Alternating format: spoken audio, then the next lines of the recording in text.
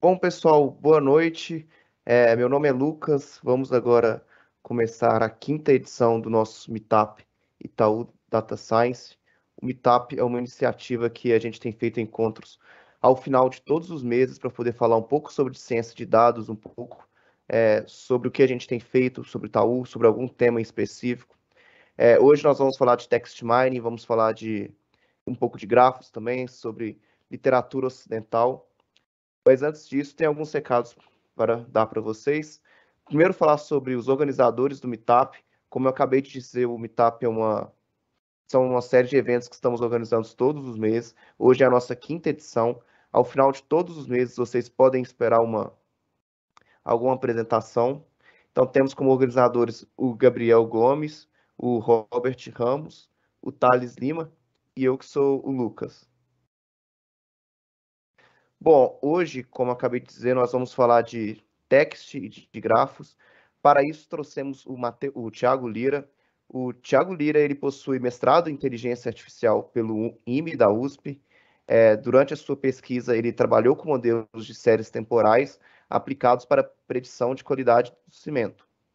Seu primeiro contato com machine learning foi no trabalho de conclusão do curso da Poli, e desde então ele tem buscado novas aplicações e novas técnicas em problemas diversos. Né? Desde essa época, ele começou a se interessar por dados textuais de deep learning e, em especial, modelos capazes de sintetizar e analisar a linguagem natural. E ele trabalha desde 2020 como cientista de dados de texto aqui no banco. É, temos aqui o QR Code do LinkedIn, do Thiago, e também do, do Medium dele, caso alguém quisesse se conectar com ele para tirar alguma dúvida depois ou trocar uma ideia, está aí, estão aí os links.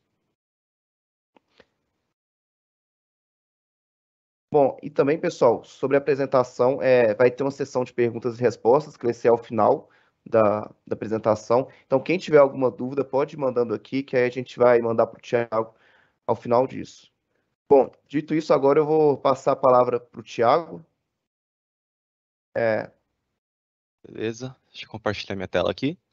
Compartilha sua tela aí para a gente, Tiago. Bom, agora eu vou colocar os slides e me avisa aí quando aparecer tudo direitinho.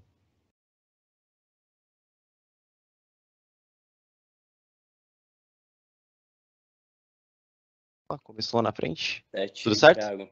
Tudo Certinho. certo? Beleza, então. Beleza. Bom, obrigado pela apresentação aí, Lucas. Bom, sou o Thiago, trabalho aqui no Itaú, na equipe de Text Mining. E hoje eu vou falar de um projeto pessoal meu, que é uma coisa que, assim, não tecnicamente não é super difícil de fazer, mas que eu achei, espero que vocês achem interessante, que é uma coisa que foi criou algum valor para mim, que eu gostei que não foi difícil tirar do papel com Deep Learning, e que eu acho que foi um problema interessante, que juntou uma coisa que eu curto bastante, que é ler, com a coisa que eu tenho feito no trabalho, que é trabalhar com texto. Então vamos lá. É, bom, nessa apresentação eu vou falar um pouco do problema, né, a ideia lá do grafo da literatura, os dados que eu usei, uma primeira solução, que eu vou explicar, e depois por que melhorar a solução com Deep Learning. Depois eu vou explicar como é que treina esse modelo de Deep Learning, algumas notas técnicas de como processar todos esses livros sem meu computador morrer. E depois eu vou mostrar o resultado e umas estatísticas interessantes desse grafo. Bom, beleza. Então, qual é a ideia? A ideia? É, eu acho que a coisa mais gratificante de, enfim, ler livros, se envolver com cultura tal, é você ver que nada vem do vácuo, que as ideias evoluem. Então, provavelmente, se você gosta muito de um autor, seja lá de qual época ele, ele seja, provavelmente ele leu os clássicos da época dele. É, ele provavelmente conhecia os autores da época dele, ele, leu, ele também leu muito. E uma coisa que eu comecei a perceber lendo livro, por exemplo, História da Literatura, História da Filosofia, História da Matemática, é que existem muitas dessas relações de autores que se conheciam, que leram uns aos outros, que eram fãs uns dos outros. Então, só dando um exemplo, a Clarice Lispector, ela, ela decidiu virar autora quando ela começou a ler Herman Hesse, quando ela tinha 13 anos. E o Gabriel Garcia Marques também decidiu virar autor quando ele já era bem mais velho, quando ele leu A Metamorfose do Kafka.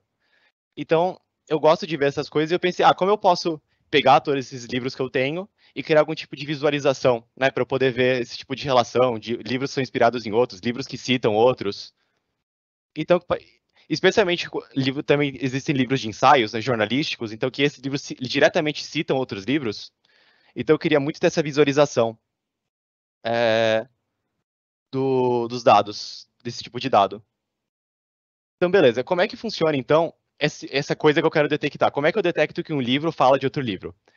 Então, não tem muito segredo. Eu vou, no texto do livro, tentar procurar o nome de outro livro. Coisa mais simples do mundo. Então, por exemplo, vamos pegar nesse livro do Will Durant, que é a História da Filosofia Ocidental. Ele fala, mas ele amava tanto o geral e universal, que na República ele destruiu o indivíduo para fazer o estado ideal. Ele está falando do Platão, e nesse caso ele falou da República do Platão. Então, o dever que eu gostaria de fazer é pegar o texto desse livro, todas as partes que tiver alguma citação, eu vou pegar e falar, ah, beleza, ele falou da República. Show. Depois, como é que vai funcionar? Eu tenho, esse, eu, vou, eu tenho esses dois livros, imagina que eu vou ter um grafo cheio de livros, e vai ter uma setinha que vai, indicar, que vai apontar da história da filosofia ocidental para a República do Platão. A ideia é fazer isso com todos os livros que eu tenho, e um monte de livro que eu baixei também só para ver se ficava legal a análise, e enfim, ver se tem alguma coisa interessante para descobrir disso. Então vamos lá. Quais são os dados? Primeiro, todos os livros que eu tinha no meu computador, eu leio muito no Kindle. É, então eu peguei os livros que eu tinha já e eu baixei um monte de livro também, uns clássicos que eu nunca tinha lido para ver se ficava legal na análise. Aí uma pequena dificuldade é que os livros eles estão no formato proprietário da Amazon. Então o primeiro passo foi converter de EPUB, MOB, AZW para TXT, porque esse é o, é o, tipo de dado que dá para trabalhar com modelo que você pode ler no Python, por exemplo. E também é, para poder trabalhar com esses livros, eu precisava de uma lista com todos os títulos, lista de autores, lista de data de publicação para poder organizar o grafo depois. Para fazer isso, eu usei um programa open source que chama Calibre, que acho que a melhor maneira de falar como é que o Calibre funciona é que ele é tipo o iTunes de livros. Então você bota esses livros lá, ele procura metadados, então tipo, é, esse foi mais difícil de achar, data original de publicação, a língua do livro, autores, e para o e-book em particular, ele pode falar a língua que aquele e-book está, isso é importante porque uma coisa que eu, tive, que eu percebi logo no começo é que quando você traduz um livro, você traduz também o título do livro que, dos livros que esse livro cita. Então eu escolhi, já que a maior parte dos meus livros era em inglês mesmo, de fazer toda a análise em inglês. Então os livros que eu não tinha em inglês eu baixei em inglês para poder fazer essa análise. Ah, e uma coisa também é que eu usei esses metadados de gênero. Então nem todos os livros servem para essa análise. Então eu foquei muito em não ficção, que é tipo livro de filosofia, livros de jornalismo, é, ou mesmo clássicos também, que não, não tem nada de não são uma história. E eu cortei livros mais recentes de não ficção, especialmente. Isso não é nenhum tipo de julgamento de valor, que eles são piores ou não. É só porque esses livros, tipo, sei lá, Game of Thrones, Harry Potter, não tiveram tempo de virar clássicos ainda. Então, para ver esse, esse, tipo de análise do que, do que inspirou quem, eu peguei livros mais antigos mesmo. Beleza. Então, como é que funciona é, o processo todo? A ideia é, eu, eu tenho os meus livros, eu vou olhar parágrafo por parágrafo de cada um dos livros. Eu tenho uma lista gigantesca com todos os nomes dos livros que eu tenho. Se, por acaso, em algum parágrafo achar o, o título de um livro, eu crio uma ligação no grafo. E aí, eu já pensei imediatamente que isso é um problema, porque eu não tenho todos os livros que me interessam. Então, eu estava pensando em algum jeito, bom, digamos que eu tenho o livro O Processo do Kafka e eu não tenho a Metamorfose. Então, como é que eu faço para detectar uma citação que seria legal da Metamorfose?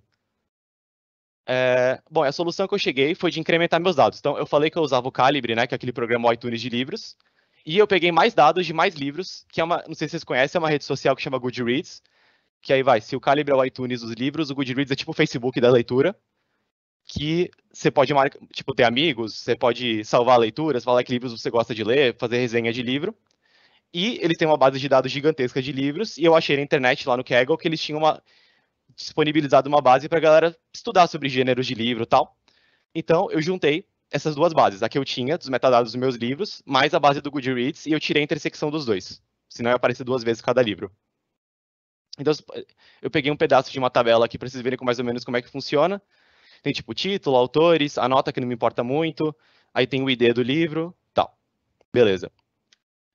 Então, como eu estava explicando antes, eu vou ter os meus livros, eu vou olhar parágrafo por parágrafo de cada um dos livros. Se eu detectar uma citação de um livro, ou seja, que ele fala o título de outro livro, eu vou na minha tabela, busco o autor e faço uma anotação no grafo.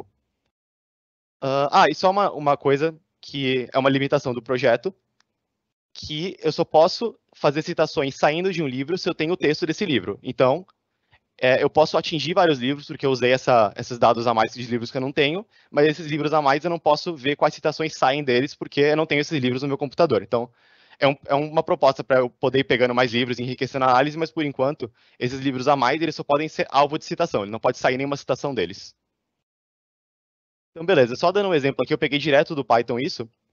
Como é que funciona isso? Vamos pegar esse livro do Steven Pinker, Iluminismo Agora.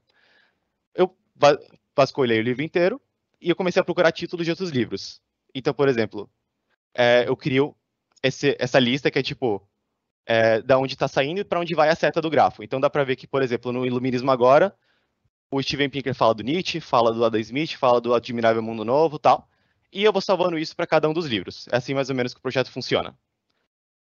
Bom, vocês já podem ter imaginado, se algum de vocês já trabalhou com texto, que um jeito meio simples de fazer isso, eu vou usar regex na expressão regular. Então eu poderia pegar todos os títulos de livro que me interessam, fazer uma regex gigantesca com todos os eles e procurar ver se eu tenho algum match. Eu procuro linha por linha dos meus livros se algum título dessa minha lista aparece. E de fato isso funciona muito bem. Isso funciona para quase todos os casos. É, e, inclusive, quando um livro é citado, normalmente o autor coloca entre aspas, então isso também ajuda bastante. Eu poderia fazer um regex que detecta coisas entre aspas e procura o título do livro lá dentro. O problema é que tem muito falso positivo. Então, eu vou dar uns exemplos aqui para tentar argumentar do porquê uma solução com Deep Learning pode melhorar esse modelo. Então, vamos lá. Esse primeiro, esse primeiro texto fala do Odisseia. Então, ele fala, ah, a Odisseia é um épico, um poema muito comprido do mesmo, do mesmo tema. Beleza tá? A Odisseia no começo. Eu poderia muito bem dar matching só a Odisseia ou a Odisseia que ia funcionar. Beleza. Mas agora vamos ver esse segundo pedaço aqui. Como parte da sua vasta educação como herdeiro do trono, o príncipe de Wales foi enviado para um estudo blá blá blá de quatro meses. Então, o príncipe de Wales. O problema é, tem um livro que chama O Príncipe, do, do Machiavelli, lá do século XV. Então, eu comecei a pensar, bom, dependendo da maneira que estava escrito, se eu usar regex, todos os livros de história ou de qualquer coisa que aparecer O Príncipe capitalizado, vai dar um match. E é uma citação espúria. Não tem nada a ver com O Príncipe do Niccolo Ma Ma do Machiavelli. Bom, outro exemplo. É, tem um livro muito bom do Italo Calvino que ele fala que, na verdade, foi um dos motivos que eu comecei esse projeto, que ele chama Por que ler os clássicos? Que o Italo Calvino ele fala um pouquinho de cada um dos clássicos da literatura ocidental que ele considera que todo mundo tem que ler. E ele começa o, a parte que ele fala sobre a Odisseia, ele chama essa parte do texto em de As Odisseias da Odisseia. Então, nesse pedaço aqui, ó, quantas Odisseias a Odisseia contém? A telemáquia, no começo do poema, é realmente uma busca por uma história que não existe, uma história que vai se tornar a Odisseia. Então, esse pedaço de texto tem cinco vezes a palavra Odisseia, mas três deles são citações e duas é só a palavra Odisseia sendo usada mesmo. E dependendo de como eu fizesse o regex, ia apitar os cinco. E, de novo, eu poderia fazer um regex que ah, procura um espaço em branco para separar a palavra, mas eu só queria mostrar como quantas vezes podem surgir esse tipo de confusão quando você usa uma coisa meio bruta como um regex para isso. Agora, outro exemplo. Bom, a Odisseia, o personagem principal, chama Odisseu. Mas, quando os romanos traduziram o livro para latim, eles chamaram, na verdade, ele de Ulisses. E tem um livro que se chama Ulisses, que é do James Joyce, que é um clássico da literatura inglesa. Então, eu também quero procurar citações do Ulisses. Então, esse primeiro texto é alguma coisa sobre, ó, Joyce's Ulisses. Então, tá falando do livro Ulisses. Beleza, o Reject detectar isso. Mas a segunda tá falando do ator que vai fazer o papel do Ulisses no filme da Odisseia. Então, que ele vai, a Regex vai apitar também que é Ulisses. Então, tem vários problemas, assim, de livros que são nomes de pessoas, autobiografias, que é, isso não ia me dar controle de direito se eu estou falando de uma pessoa, se estou falando de um livro. Então, bom, essa é a minha argumentação porque eu achei que eu tinha que fazer uma coisa um pouco mais complexa que regex. E essa coisa um pouco mais complexa é um problema famoso de texto que chama NER, Name Identity Recognition.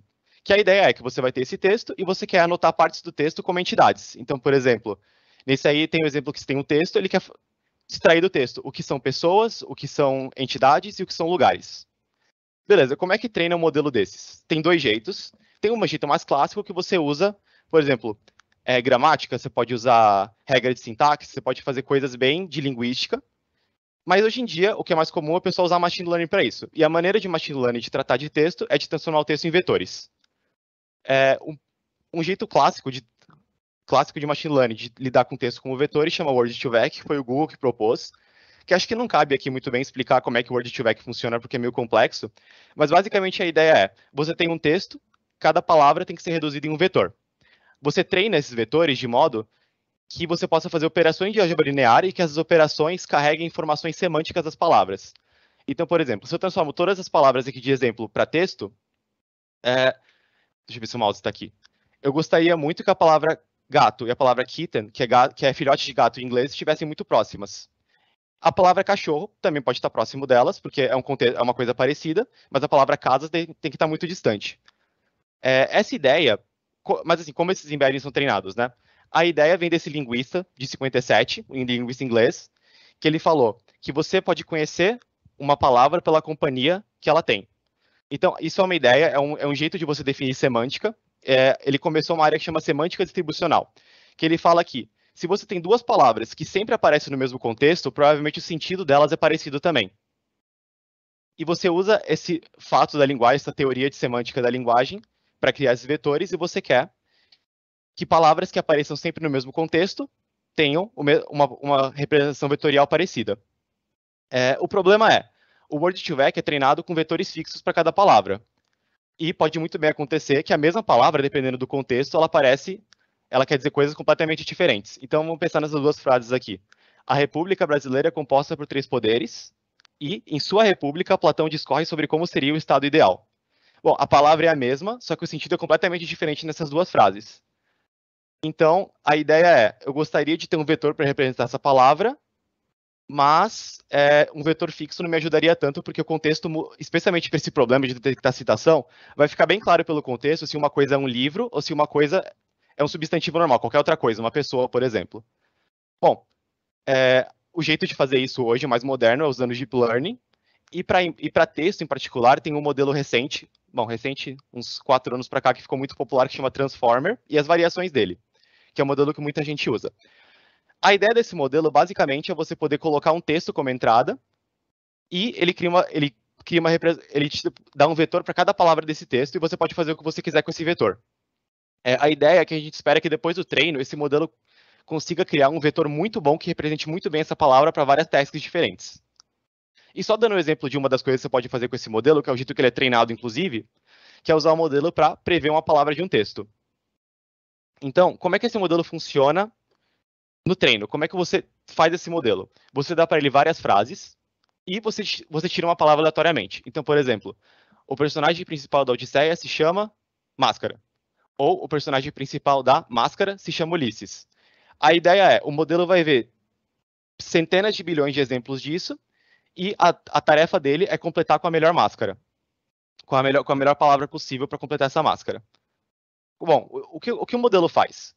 ele vai receber essa, essa frase com a máscara, ele vai criar um vetor para cada palavra, ele vai ter um vetor para essa máscara. A ideia é, o, o, modelo vai, a saída dele, na verdade, é uma camada que vai pegar para cada um dos, da, das palavras, e ele vai, para todas as palavras no vocabulário, ele vai dar uma porcentagem de chance de, dessa palavra ser ocupada por, por esse vocabulário. Então, por exemplo, está ficando confuso, mas, por exemplo, a República Brasileira é composta por máscara, poderes. A ideia é, o modelo vai ter todas as palavras do vocabulário possíveis aqui, e para esse token específico, o que a gente espera é que a palavra 3 vai ter uma porcentagem alta de ser a palavra certa que o modelo vai usar para completar esse texto. Beleza. Então, o que você mais pode fazer com esse modelo? Esse final do modelo, a parte que dá probabilidade, você pode trocar essa parte por, um outro, por um outro tipo de camada, outro tipo de rede neural. Então, o que você pode fazer também com esse modelo? Tira a última camada e troca por uma camada linear. Quando, por exemplo, você quiser classificar uma, uma frase, por exemplo, você pode jogá-la no modelo, o modelo vai criar essa representação vetorial para todas as palavras desse texto, e ele vai criar, ele tem um token especial, que chama CLS, que está no começo da frase, que é uma coisa de treino, ela é colocada sempre lá, e a ideia é que esse primeiro token, ele sempre vai representar alguma coisa resumida da frase inteira. Então, como é que você classifica uma frase, um problema de classificação normal? Você joga uma camada linear só nesse último token e você pode treinar o um modelo para classificar em algum tipo de algum tipo de categoria essa frase. Beleza. Para o nosso problema agora de NER, você também troca o final do modelo e você coloca uma coisa, uma, uma última camada que vai classificar os tokens também. Mas no caso, é, a ideia é que ele vai colocar cada token numa categoria específica, não é a frase inteira, é cada token. Então, Vamos ver como isso funcionaria. Vamos lá, a República Brasileira é composta, em sua república, Platão escolhe como seria o estado ideal. A gente coloca esses dois no modelo, o que a gente quer é que para cada um dos tokens o modelo vai falar se é um livro ou não é um livro. Então eu vou treinar esse modelo e eu quero que para cada, cada palavra de cada frase que eu dei para ele, ele vai falar se cada palavra tem uma chance de ser um livro ou não ser um livro. Então nesse caso eu espero que depois de treinado, Nessa, em sua república, Platão escolhe como ser o estado ideal, ele vai dar uma probabilidade alta de ser um livro, e no, no outro caso vai dar uma probabilidade alta de não ser um livro. Beleza. É, como é que a gente treina esse modelo? A ideia é, eu tenho que dar vários exemplos positivos e negativos para ele. É, então, basicamente, o que eu fiz foi, é, eu usei o regex que eu falei que eu não ia usar no começo, e eu procurei em todos os meus livros títulos de outros livros. E, claro, teve vários falsos positivos. Então, eu peguei os falsos positivos e os positivos certos também, e eu anotei todos. Eu falei o que estava certo e o que estava errado. Então, por exemplo, nessa passagem aqui, está falando alguma coisa das mil e uma noites árabes. Então, a ideia é, eu pego esse texto e eu tenho que anotar. Eu falar para o modelo, ó, de, dessa parte do string para essa parte do string é um livro. Beleza.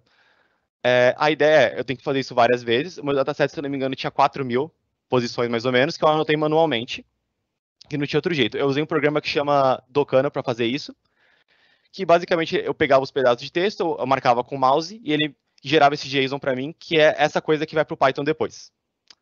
É, e tem uma maneira de melhorar isso ainda. Vamos lá. É, se eu marcar para cada coisa, por exemplo, as Mil e Uma Noites Árabes como livro, é, então os três tokens vão ser marcados como livros. The Arabian Nights, os três vão ser livros.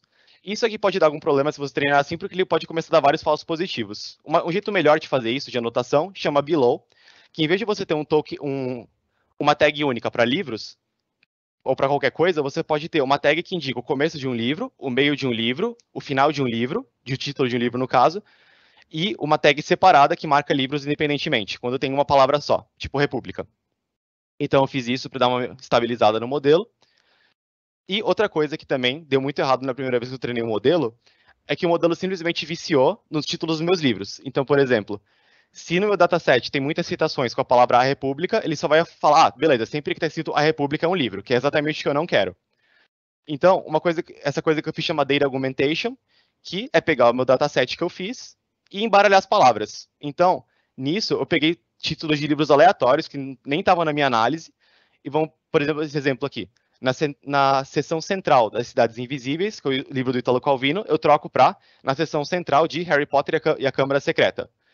E para cada posição do meu dataset, tem uma chance de gerar um data, um, um data point novo com o um nome completamente aleatório de um livro que a ideia é, o modelo tem que aprender não pelo nome do livro, não decorar nome de livro, ele tem que aprender o que é contexto de citação de livro, que é o que, que é o que esse projeto todo tá, é a ideia de todos esses projetos.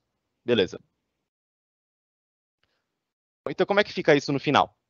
É, eu vou ter essas coisas que eu anotei manualmente. Então, várias frases assim, tipo, ah, eu gostei de ler a República, marcada como livro.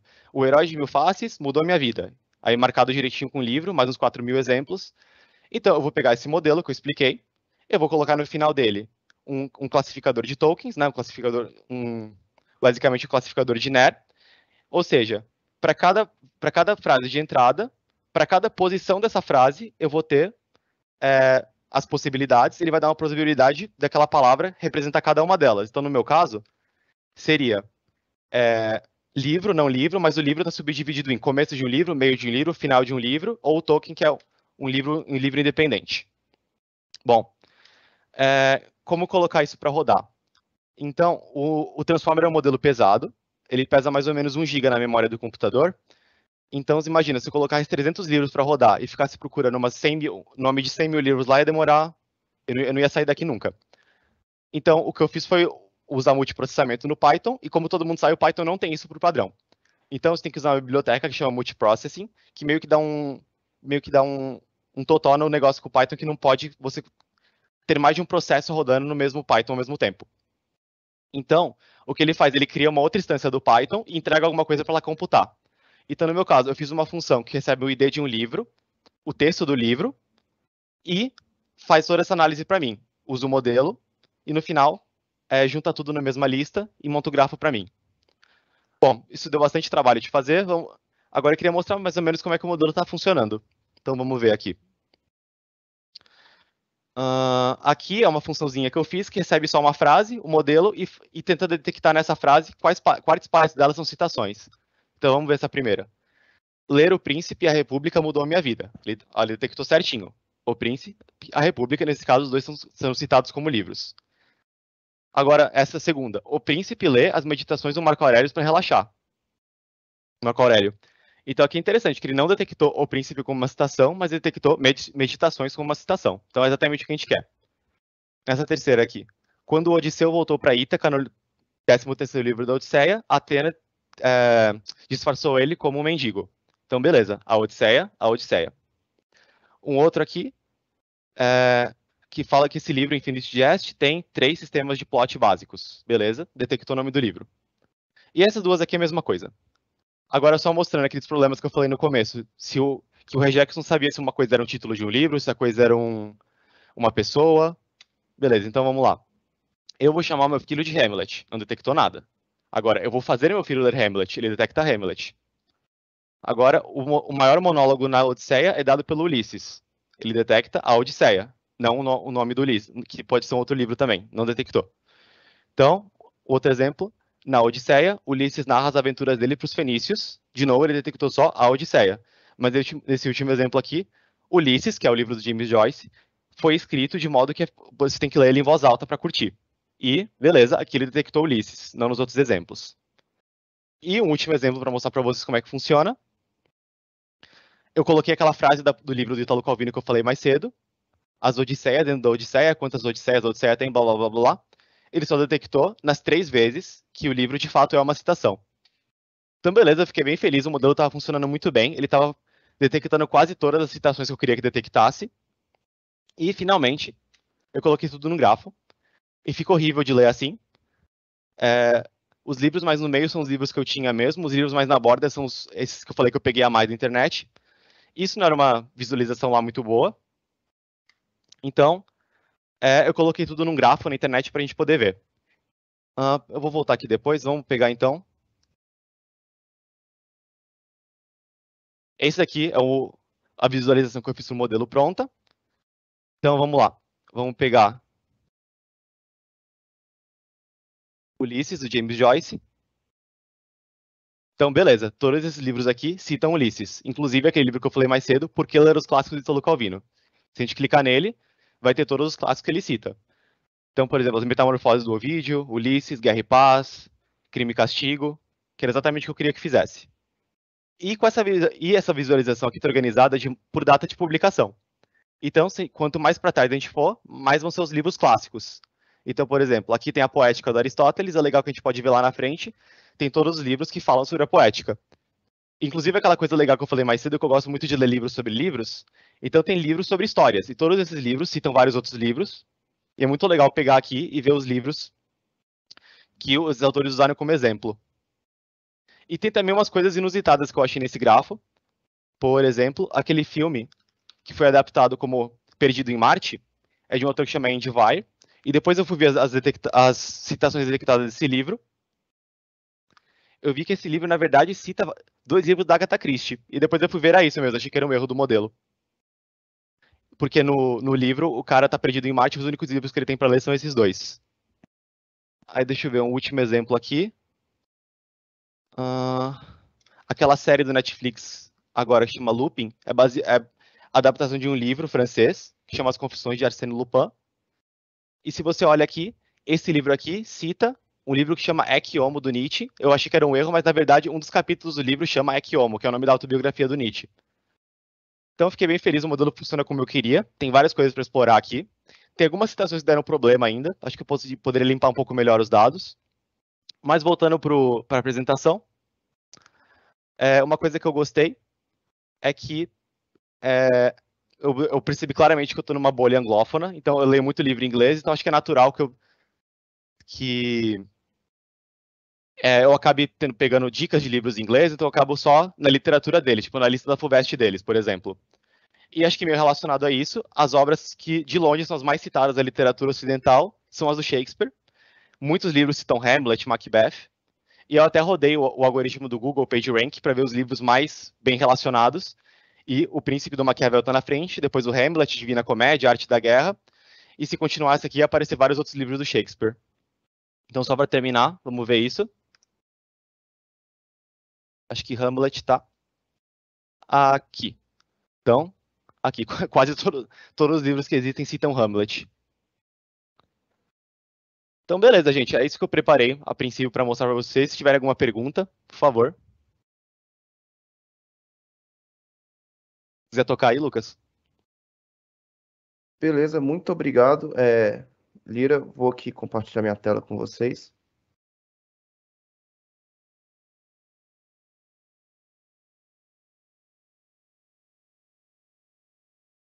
Tem alguns recados. Então, pessoal, é muito obrigado pela participação, Lira. A gente acaba aprendendo também sobre cultura sobre literatura né, durante a apresentação, além de textos e grafos. Tem alguns recados, pessoal. Lembrando que quem tiver dúvidas tem a sessão sim, de perguntas e respostas aqui no Teams. Pode mandar, que daqui a pouco eu vou fazer essas perguntas para o Tiago. Mas antes disso, tem alguns recados para vocês. Bom, o primeiro deles é sobre a nossa comunidade no Meetup. Quem tiver interesse nos nossos conteúdos, em participar mais dos eventos, faz a inscrição lá no Meetup, do, no grupo de Meetup do Itaú, porque aí vocês vão receber notificações sobre os próximos eventos. E a gente está fazendo todos os meses.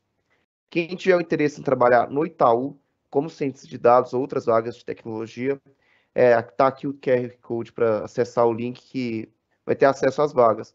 Quem tiver interesse, dê uma procurada lá, que tem muita vaga aberta disponível, inclusive para cientista de dados. Além disso, a gente tem o Medium do Itaú, que tem alguns artigos publicados, alguns sobre alguns conteúdos. Quem tiver interesse também pode seguir lá. E gostaríamos também que vocês é, deixasse algum feedback. Aqui tem o QR Code do link. É um questionário muito rápido, cerca de alguns segundos para vocês preencherem. E isso vai nos ajudar a proporcionar conteúdos melhores para vocês no futuro. Bom, de recados são esses. Agora eu vou passar a palavra para o Gabriel, que ele está. Ele vai fazer a sessão de perguntas e respostas agora. Beleza, obrigado, Lucas. É, cara, eu vou começar com a pergunta aqui do Ademar, e aí eu já, já vou responder ela, porque o Ademar pergunta aqui: gostaria muito de trabalhar com vocês, qual o processo que eu devo seguir? Bacana, Ademar. Cara, tem muita oportunidade aqui no Itaú. O Itaú está sempre contratando, principalmente para a área de ciência de dados, né, cara? Tem é, assim, diferentes aplicações que você pode estar trabalhando, desde visão, áudio. Eu sou de áudio, pessoal de grafos, enfim, tem muita coisa aqui. Você vai encontrar, cara, exatamente nesse QR Code aqui, que a gente está colocando na tela. Você vai ver lá as oportunidades que estão abrindo no 99 Jobs. Então aplica lá, cara, e boa sorte aí na sua candidatura. Vou seguir com as perguntas aqui. A Ana pergunta: algoritmos tradicionais de grafos, como GNN, podem ser utilizados nesse problema? Posso falar aqui? Pode. Ah, beleza. Então, é, Assim, sendo bem sincero, eu não manjo de grafos, então a primeira coisa que eu pensei foi usar o PageRank mesmo, que é o único algoritmo que eu conhecia do Google, para ver os nós mais relacionados, mas é, eu acho que, eu não sei, eu acho que qualquer um desses, desses algoritmos poderia ser usado assim, eu só não tentei mesmo. Eu posso tentar depois. Boa. Que é um grafo bem normal, tem nós, né, várias coisas podem ligar no mesmo nó, e o nó pode ligar em mais de uma coisa diferente, então, não sei o, no, o nome técnico desse tipo de grafo, mas acho que é bem comum. Boa. O Ademar mandou outra aqui, que eu acho que também é bem pertinente aí para quem está começando, né? Tenho muita dificuldade de acompanhar coisas novas de Deep Learning. Estava estudando LSTM ainda. Você pode indicar depois mais sobre Transformers? Ah, claro. Uh, como a gente faz? Eu tenho uns links legais para começar a estudar Transformer. Não, tranquilo. É, a gente vai mandar depois um e-mail de follow-up aí com os conteúdos recomendados pelo Thiago e Cara, eu acho que a gente pode compilar tudo isso daí no e-mail e aí o, o Ademar vai ter esse link aí depois. Uhum. Então, vamos lá. A próxima aqui seria do Guilherme Agostinho. Pergunta de iniciante. Ele diz: Quanto tempo para desenvolver um modelo? Qual foi o insight para perceber que regex não funcionava? Beleza. Bom, o insight para perceber que regex não funcionava é que eu rodei aquela primeira rodada de regex e eu comecei a ver que todos os livros do mundo citavam o príncipe. Não era real, né? Porque tava só falando o príncipe no texto. Aí, já que no Itaú eu trabalhava com uma coisa parecida com Transformer, eu pensei, bom, é, eu, eu, sei mais ou menos como é que usa um Transformer, eu só não sabia usar para essa task em particular. Aí eu peguei esse modelo, esse modelo adaptado para fazer o, que eu expliquei de NER e funcionou direitinho. Pra, ele perguntou quanto, é que, quanto tempo para treinar o modelo? Quanto tempo para você desenvolver o modelo? Ah, desenvolver. Ah, cara, foi rápido. É que eu posso passar também nesse compilado de coisas, mas tem uma biblioteca que chama Hugging Face, que é um pessoal que faz para centralizar esse tipo de desenvolvimento com o Transformer, que é muito fácil de você puxar um transformer da internet, mudar para uma tarefa sua, dar um fine tuning, que é tipo adaptar para uma tarefa específica. Então, assim, de puxar o modelo e treinar, demora assim uns 15 minutos. É muito rápido. O que, deu, o que dá mais trabalho é fazer o dataset mesmo e depois ir iterando para até o modelo ficar bom. Pré-processar os dados, né? Pré-processar, assim, veio bem sujo esses dados. A gente conhece na nossa realidade aí. Quando que o dado vem Sim. limpo, né? É, até complementando aí para o Guilherme, desenvolver o modelo, então é a parte mais menos custosa aí de tempo, né? Uhum. O Eleandro pergunta aqui, como o Transformers consegue isolar apenas o nome do livro? Como o Transformers consegue isolar apenas o nome do livro? Então, que assim, do jeito que esse modelo é feito, ele vai pegar uma frase e ele vai dar, ele vai classificar cada uma das palavras da frase se é um livro ou não é um livro. Ah, ah entendi, para isolar. Então, isso é uma coisa de pós-processamento que eu faço, que eu só detecto se ele pegou tokens perto um do outro. É, aí eu pego os tokens que ele detectou perto um do outro e junto o string e considero que aquilo, que aquilo é um livro. Às vezes ele pega, por exemplo, ele pega só uma parte de uma frase que aí nem formou uma palavra completa, porque do jeito que o transformer é feito, que às vezes ele não pega uma palavra completa. É, aí eu só jogo fora. Eu, eu, considero que foi uma citação espúria que não funciona para nada. Mas basicamente isso. Beleza. Se não responde essa pergunta, pode perguntar aí de novo, por favor. Tá certo. O pessoal tá mandando aqui. É... Uhum. O Thales, ele colaborou bastante aqui, ele mandou algumas perguntas. Ele, Opa, ele gostou bastante da, da apresentação. É, perguntou, e o Tolkien? E depois ele perguntou. Já, já vou mandar as duas, aí você responde. Beleza. Você vê alguma melhoria que você poderia fazer nessa sua abordagem para um estudo mais aprofundado? É, então, a, a, melhoria que me vem direto de pensar é que eu acho que meu dataset não está tão bom assim. É, que no final foi um dataset muito dos meus livros, das citações que eu detectei com regex. Então, uma coisa que eu tentei enriquecer um pouco é pegar resenhas da internet. Tipo, ah, resenha falando sobre algum livro que saiu agora. Aí eu pego a resenha e faço o dataset do jeito que eu mostrei, que eu mascaro a palavra, a, o nome do livro tal, troco por outros. Então, eu acho que uma coisa que poderia ficar melhor é eu enriquecer, além do texto dos meus livros, seria com resenha de internet, e aí foi uma coisa que começou a dar trabalho, porque cada. Eu não, eu não, achei muitas resenhas no mesmo site, então cada um eu ia ter que escrever um scrapper diferente em Python, então eu acabei fazendo isso só com uns três livros. Acho que eu peguei uma resenha gigantesca da Odisseia, uma da República, que é quase um texto de filosofia, né? É, aí eu transformei no dataset lá, só que deu mais uns, vai no máximo uns 100 exemplos a mais. Então acho que se eu continuasse o projeto, eu ia só pegar um monte de resenha de livro, de, tipo, coisas completamente diferentes para deixar mais rico esse dataset. Beleza. Cara, tem muita gente que gostou aqui, elogiando, elogiaram a Opa. visualização, ficou muito bacana também. Pô, feliz. Gostei. Eu, posso, eu, vou, eu vou passar para vocês depois também o link da visualização. Faz, faz o seguinte, até complementando aqui a pergunta do Will, que ele pede os links, é, uhum. Thiago, se você conseguir mandar aqui pra gente, acho que dá para você mandar aqui mesmo ah, beleza. Na, na, conversa, o pessoal aproveita que já tá aí fresco, né? Show. né? Já visualiza aí, quem quiser. No chat da reunião mesmo? Isso. Beleza.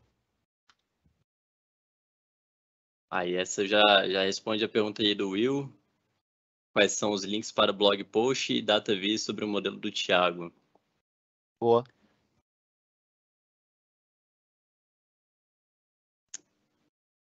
Ah, o site é meio pesado porque ele, não, ele roda no seu computador, ele calcula todas as coisas, então às vezes demora um pouquinho para abrir. Beleza. Então, continuando aqui. Cara, o Marcelo mandou a seguinte pergunta: Poderia explicar melhor como foi gerado o JSON para treinamento do modelo? Ah, claro. Acho que eu vou abrir o slide aqui de novo, então. Fechou. Ah, deixa eu compartilhar a tela de novo.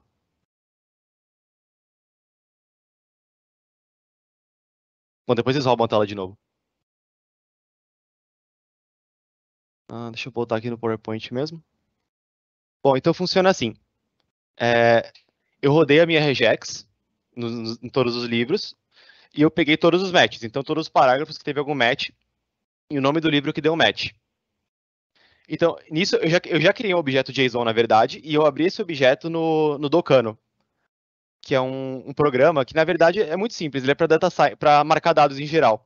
No programa, ele vai ler o JSON que eu fiz. Se, é, isso no meu post é explicadinho. Se quiser, depois você A pessoa que perguntou se vir conversar comigo, eu explico, eu mostro o código também. Tá no GitHub, aliás, eu vou passar o, repo depois. Mas assim, é, aparece uma visualização para mim nesse docano, que aparece o texto, eu vou lá, seleciono a palavra que é o título de um livro, com o mouse mesmo, e aí eu falo, ah, representa um livro. Eu, eu vou lá no docano e falo quais tags possíveis tem, no meu caso era livro, não livro, e no final, quando eu tiro do docano os dados de novo, ele vai me gerar esse JSON aqui, que vai ter um campo que vai ser o texto e outro campo que vai ser as entidades detectadas, as entidades que eu marquei no texto. Então é bem simples, ele só tem é, a posição que começa o título do livro, a posição que termina o título do livro. Aí isso daqui é um metadado para mim, para poder treinar o modelo que é o nome, o, no, o título do livro, e a label que eu dei para ele, que é livro. E aquela coisa que eu expliquei depois, isso é só antes de treinar o modelo, que eu troco para essa, essa visualização aqui que tem mais de um token para um livro, mais de uma tag, né, possível, que pode detectar o começo, o final e o meio do livro. Deixa eu ver se tem uma coisa aqui que dá para falar também. Hum... Cara, acho que é isso. Espero ter respondido a pergunta. Beleza. É, eu vou voltar numa pergunta aqui um pouco mais uhum. antiga, Beleza. que é sobre o Meetup, né? Teremos acesso à gravação dessa live? Então, pessoal, a gente está trabalhando sim para disponibilizar isso daqui publicamente, deixar um histórico aí, vocês conseguirem acessar os meetups antigos. A gente está gravando todos eles. A gente ainda não tem ainda um local que a gente consegue acessar, mas em breve a gente deve ter, tá bom? Então, isso deve ser anunciado lá no, no nosso grupo do Meetup. É, seguindo aqui com as perguntas sobre o tema, a Natália manda aqui. Há uma dificuldade maior para o modelo quando é, são dois livros com o mesmo título em relação ao contexto da citação? Hum. É, então, isso é um problema nem do modelo, é um problema. Eu não pensei em outro jeito de fazer. É, nesse caso, quando tem dois livros com o mesmo título, eu fui lá manualmente no dado e selecionei o livro que, que eu gostava mais para análise. Não tem muito o que fazer. Então, por exemplo, esse é até um problema. Tem vários livros que chamam meditações e vários livros que chamam ensaios. E no caso, eu escolhi só os ensaios do Marco Aurélio e só meditações do Descartes, por exemplo. Escolhi um só. É, no código, eu fiz uma maneira de você poder burlar isso, mas é, não funciona tão bem. Que é, por exemplo, é, no, deixa eu mostrar aqui no slide mais, mais atrás. Às vezes, quando uma pessoa cita um livro, fala o nome do autor, tipo Joyce's Ulisses. Então, eu poderia detectar tudo isso o, tipo, o nome do autor, apóstrofe S e o nome do livro. Aí isso. Ô, Thiago. Oi. Desculpa te cortar, só porque é. você não, não tá mais mostrando na tela. Ah, tá, nossa. Valeu. Uh, deixa eu voltar aqui.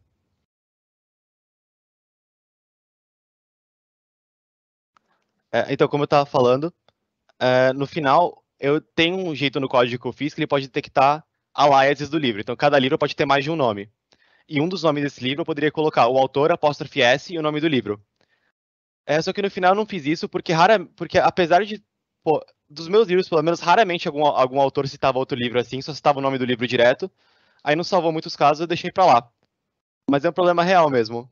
É, não tive uma ideia de como você pode detectar citações se, se o livro for diferente. Se, digo, se tiver dois autores deram o mesmo nome pro livro deles. Beleza. O José Alberto mandou aqui: não manjo muito de Deep Learning. O que você recomenda para quem quer começar a estudar essa parte? Pô, uh, acho que a gente vai mandar os links no final. Uh, para Deep Learning em particular, eu acho que não tem, não tem erro começar com o Deep Learning Book, que eu esqueci o nome do autor agora, mas é um livro de Stanford, eu acho que é bem, assim, um apanhado de 2000 vai 16, 17, como é que eram as coisas lá. Ele fala um pouco de cada área, um pouco de cada modelo, como é que pensaram nos modelos. Eu li na época do mestrado e foi bem bom. Então recomendo esse livro. Eu vou mandar o nome aqui. Depois Beleza. eu posso mandar a citação completa, mas. Ah, é, vou, vou aproveitar, Thiago, que você hum. já vai mandar aí também. Se você puder mandar o, o GitHub, o Medium ah, da, beleza. da tua apresentação aqui no chat também claro. pra gente. Peraí, deixa eu é... outra janela aqui.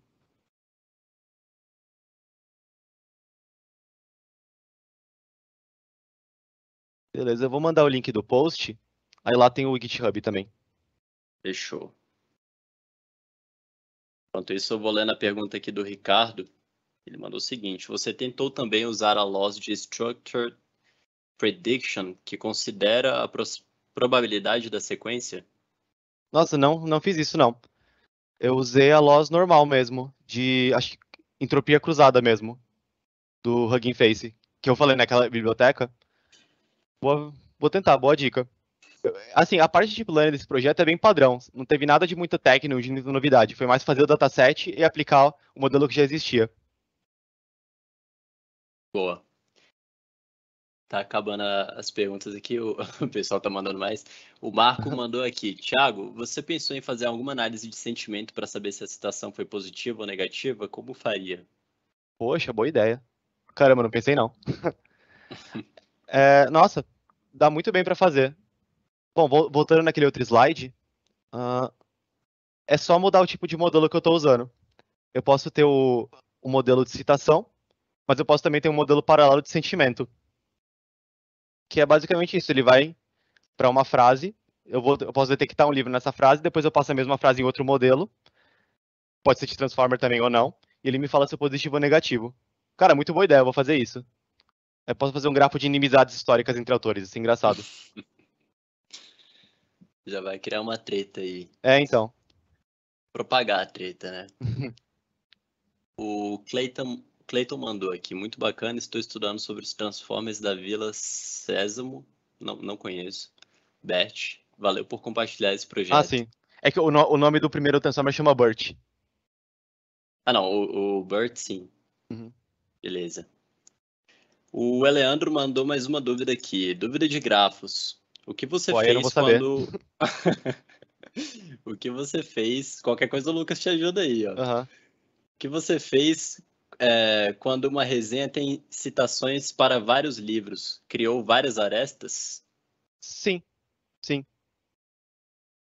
Uh, então, até, na, até pensando na questão de como eu anoto os dados, deixa eu ver aqui. Uh, cadê? É, essa parte aqui pode ter simplesmente várias anotações. tipo, o JSON fica com várias, várias entidades e várias anotações. Aí uma dificuldade minha, na verdade, foi quando eu pego um parágrafo e detecto mais de uma citação nele, é, eu tenho que ver se eu consigo fechar dois strings completos, porque às vezes, como eu falei, às vezes aparece um lixinho qualquer e não dá para falar que é um título de um livro. E detecta numa boa. Inclusive com o regex tinha que fazer umas gambiarras para isso, porque o regex para no primeiro match, né? Então tinha que rodar de novo, no caso. E o modelo do Deep Learning, já que ele aquela coisa que eu expliquei, que todas as palavras que eu dei, ele tenta botar ou não a tag, então eu posso pegar mais livros na mesma citação, sim. Na mesma frase, desculpa. Aí eu, sim, eu crio mais de uma aresta. Beleza. Vou fazer as duas últimas perguntas aqui. O Thales está reforçando. Cadê o Tolkien? Como assim, cadê o Tolkien? O Tolkien, o, o autor, provavelmente. Ah, o Tolkien. Nossa, desculpa, minha cabeça está em text. Tolkien é o, é o nome quando você divide uma palavra. Cadê o Tolkien? Vamos ver cadê o Tolkien. Peraí. Eu não vou deixar o Thales ah, sem ver o Tolkien aí, dele, não. Né? Beleza. Então, é, eu acho que eu tenho esse é o problema, que o Tolkien eu tenho físico, né? Eu tenho a coleção dele. Acho que eu baixei algum livro dele para botar na análise. Aqui. Uh... É, tem umas citações. Então, isso é uma coisa que acontece no projeto, eu não tive muito o que fazer. Por exemplo, bom, são acostumados, quando tem um livro, normalmente, a editora coloca no começo e no final do livro, ah, leiam esses outros livros feitos por nós. E eu não tenho como saber se, se sou autor ou não. Então dá pra ver aqui que no Tolkien, por exemplo, o livro do Tolkien tá apontando para outros livros do Tolkien, que eu duvido que o Tolkien, tipo, fez um merchan dele lá no, no próprio texto do Senhor dos Anéis. É só uma coisa da editora mesmo. E eu não... Eu, também não, não eram tantos casos assim, mas eu não tratei isso, de detectar só o, li, o, o miolo do livro mesmo e não, tipo, o editorial e o final do livro. Mas deixa eu ver se alguém... Ó, mas falando do Hobbit, tem esses livros... O livro da Ursula Le Guin fala do Hobbit. E a introdução à filosofia. Olha só, deve ser o cara deve usar Hobbit para algum exemplo aí de filosofia. Olha, cita Senhor dos Anéis e o Hobbit. Não, Introdução à Filosofia da Matemática. Nossa, agora eu tô curioso. Não sei se eu tenho esse livro aqui, eu vou procurar depois. Então espero ter sanado aí a vontade do Thales de ver o Hobbit. Acho que agora ele tá satisfeito, cara. a última pergunta aqui, Thiago, é, antes da gente fazer o encerramento, é do Fernando Santos. Ele, ele mandou aqui a pergunta que é o seguinte: imagino que o Itaú promova esse tipo de pesquisa para eventualmente aplicar em uma, uma solução que dê retorno financeiro à empresa. Quem é o responsável por encontrar essa utilização prática? Você ou tem outra área para isso no Itaú? Boa pergunta. Acho que é muito dos coordenadores e gerentes de pensar o que, o que as coisas de inovação. Assim, no Itaú a gente tem as horas de estudos, né? Que é uma coisa muito legal que, que a gente tem de direito de fazer, que a gente sempre tenta estar tá lendo paper, tá em dia com as coisas, e nós usamos essas horas de estudo para o que a gente quiser. É, da questão de fazer coisas dentro do Itaú, então é muito mais a direção da equipe que os coordenadores e os gerentes dão, sobre, às vezes, experimentar uma coisa, treinar um modelo maior, ver como é que ele pode ser útil depois. Então não passa tanto por mim isso. Não sei se foi essa a pergunta. Não, se, alguém, se algum de vocês quiser complementar a resposta. É, vou, vou, complementar aqui também. O Thiago, ele, ele trabalhou com isso daqui nas horas de estudo dele, né? Como ele comentou. Uhum. Até, até para falar para o pessoal, acho que não é algo que todo mundo saiba, mas aqui uhum. no Itaú, cientista de dados, a gente tem oito horas por semana, né? Para horas de estudo. Então, cara, essa hora você pode trabalhar em projetos como esse, por exemplo, que, assim, talvez a princípio, né? É, a, a, ideia do projeto não tenha de cara uma aplicação com, com lucro né, financeiro, mas, cara, é, é algo que o, o cientista está ali experimentando um novo método e tal. Uhum. Então, esse daqui, nesse caso, Fernando, não foi algo exatamente proposto já pensando, visando um retorno financeiro né, para a empresa. Posso só complementar uma coisa? Claro. Que nesse projeto foi interessante porque eu trabalhava com um modelo parecido no Itaú. Aí eu pensei, ah, vou fazer uma coisa mais no meu mundo, assim, para aprender a usar melhor tal, eu fiz esse projeto. Aí, com o que eu aprendi no projeto, eu voltei no Itaú depois, eu sabia umas coisas novas para fazer com Transformer. Então, acho que foi bem legal esse projeto, assim. É, exato. Eu, eu passei pela mesma coisa, cara, aqui em áudio. A gente, é, durante as horas de estudos, a gente brincou com o modelo, fazendo um, um fine-tuning nele para identificação de sentimento no momento, uhum. tipo, para ver se tinha alguém que estava rindo, se alguém que estava bravo numa ligação. Só que, cara, aquele conhecimento ali que você tira para, poxa, fazer uma análise de sentimento, você pode depois retreinar aquele modelo para fazer alguma outra tarefa, né? Então, é o aprendizado que você tira dali também. É... outra coisa que eu queria complementar também sobre isso, pessoal, que aí tá nas vantagens de estar numa empresa que fornece oito horas por semana para você estudar algum tema. Então, aí com isso, o, o Thiago foi trabalhar em um tema que era de grafos, eu que era do time de grafos, pude trabalhar com text. Então, assim, a gente possibilita estudar diversos outros assuntos, além de que a inovação ela parte de todos dentro da empresa. Então, cada pessoa vai ter essa autonomia de tentar propor algo e inovar dentro da sua área, uhum. dentro do seu, da sua função. É, e o que eu estava falando é que vira e mexe realmente aparece um uso para aquilo dentro da empresa, que é bem legal. Tipo, você já desenvolveu o know-how sozinho, né? Sim, sim. Beleza, então encerramos as perguntas aqui, Lucas. Eu passo para ti agora para fazer o encerramento para gente.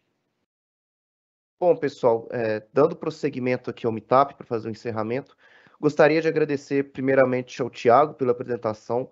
O pessoal gostou muito, foi muito legal a interação que a galera teve. É, no meu caso, eu até aprendi um pouco de cultura, que eu não conhecia nem esses autores de livros aí. É, agradecer também a todos que estavam aqui presentes. Foi legal a interação, deu para ver que a galera gostou bastante do tema. É, não esquecem de deixar um feedback para gente, por favor, até porque com esse feedback a gente vai conseguir trazer conteúdos melhores que vocês vão gostar mais. É, reforçando também, como muita gente perguntou sobre oportunidades, está aqui o QR Code, tem várias oportunidades, pessoal. Então, no mais, é agradecer a todos que estão presentes e mês que vem é o nosso próximo encontro. Contamos com vocês lá, pessoal. Então, é, obrigado também, Gabriel, aí pela ajuda aí nas perguntas. E é isso, pessoal. Até o próximo Meetup. Beleza.